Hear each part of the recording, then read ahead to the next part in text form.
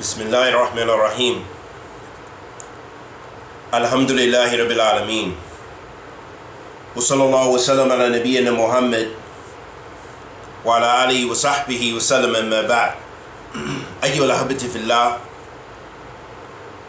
إمام المحدث شيخنا Sheikh Mukbil bin Hadi al-Wadi'i Allah yarhamuhu was asked ما حكم من يأمره أبوه أن يشتري له حاجات مكروهة أو محرمة مثل مثل مثل الدخان والشمة والقات فهل يطاع أم لا؟ Imam Muqbil bin Hadi al-Wadi'i Allah yarhamuhu was asked, what is the ruling regarding the person whose father asks him to buy things that are disliked or that are muharram, that are haram, like cigarettes, like shamma, and like qat. Qat is a plant that is chewed, especially in Yemen and in East Africa, and it is in the West as well. Should the person be obedient to their father um la, to their parent or no?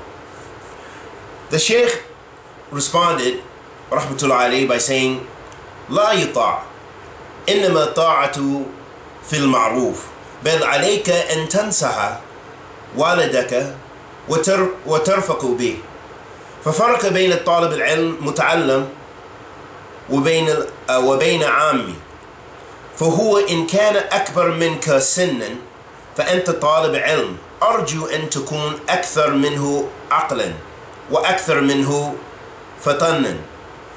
لأن طالب العلم يذكي وينمي العقل وينمي الأخلاق الطيبة. فأنت تحسن إليه وتقول له هذا الأمر لا أراه وأنساك أن تبتعد عنه وأن تتركه والله مستعان Imam Muqbil bin Hadi al-Wadi'i Allah yarhamuhu responded by saying do not obey obey them or obey him because obedience is only in that which is righteous rather it is upon you to advise your parent and be gentle with them and there is a difference between the student of knowledge that has learned and the general person. So if he is older than you in age and you're a student of knowledge, then I hope from you that you will be more than him in intellect and more advanced in understanding because a student of knowledge is in, uh, has intelligence and is developed has a developed intellect. And advanced or developed manners that are righteous. So you should be gentle and kind towards him. And you should say to him this issue I do not think is permissible.